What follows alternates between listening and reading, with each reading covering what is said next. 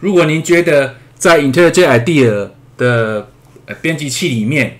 或者是呃使用了 IntelliJ 平台的其他的呃 IDE，比如说 Android Studio 之类的这个工具里面，如果您觉得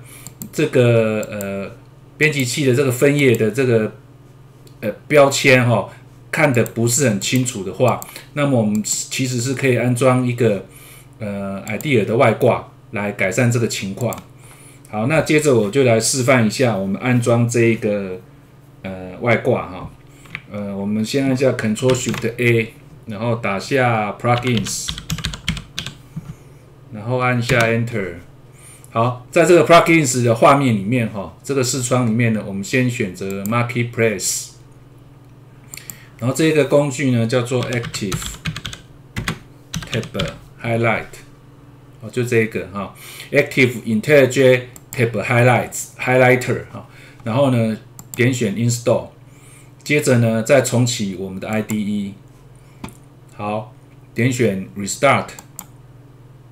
它会关闭，然后稍等一下呢，就会显示出来。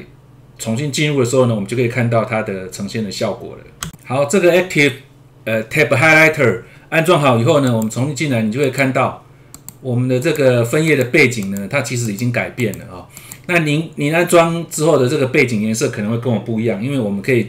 我们其实是在可以可以在这个设定里面去改它的哈、呃，我们就打下 Settings 哦，进入设定。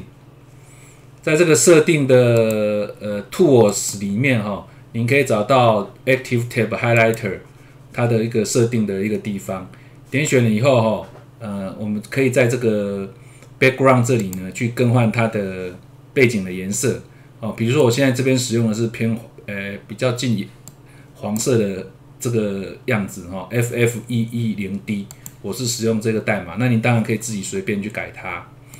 哦，修修改完以后按确定就可以了。那它这个外挂有一个缺点呢，就是它只能改背景的颜色，啊，就是这个背景的颜色，它这个文字本身的颜色呢是没有办法修改的。啊，好，那使用这个外挂，我们就可以很轻松的就让我们的这个分页的这个